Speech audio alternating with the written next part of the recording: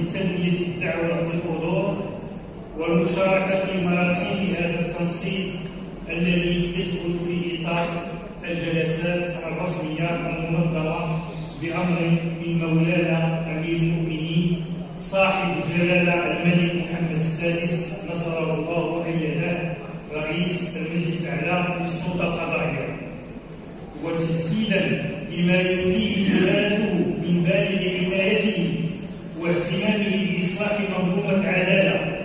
ولما لذلك من دور حيوي في توطيد ركائز الديمقراطية والحكامة الجيدة وتحقيق الأمن القانوني والقضائي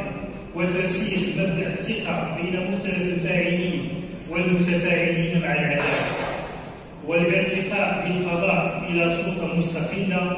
تهدف إلى ترسيخ دولة الحق والقانون وتعزيز إصلاح البناء الديمقراطي عبر ترسيخ أسس قضاء مستقل ومحايد مبني على صيانة الحقوق وحريات المواطنين والمواطنات أفرادا وجماعات في إطار من التلازم بين الحقوق والواجبات. وبقدر ما أحس بهذا التشريف المولوي السامي وبهذا التعيين الذي له عميق الأثر في نفسي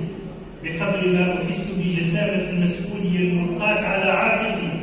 وما يتطلبه ذلك مني من التشبع بروح المسؤولية والتجرد والمروءة والاستقامة والجدية والحزم والنزاهة.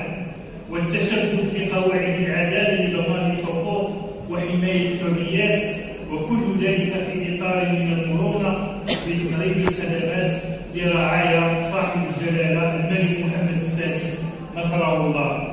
سواء كان داخل أرض الوطن أو خارجه وهو الأمر الذي لن يتأتى لنا إلا بتحديث المصادر وتبسيطها وتسريع وتيرة صوت كرامته وتفهما لقضاياه والانخراط